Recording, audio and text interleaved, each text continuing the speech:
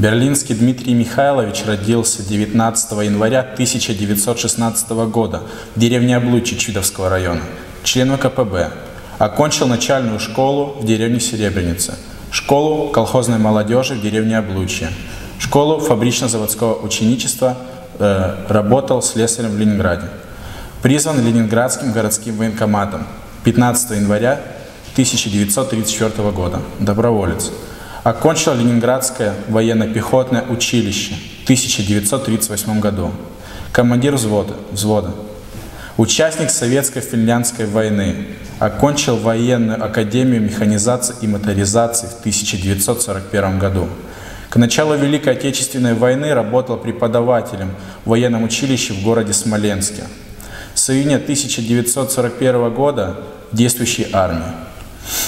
14 января 1945 года на Магнушевском плацдарме, южнее города Варшавы, Берлинский, обеспечил своим полком прорыв сильно укрепленной обороны противника. Звание Героя Советского Союза присвоено 27 февраля 1945 года.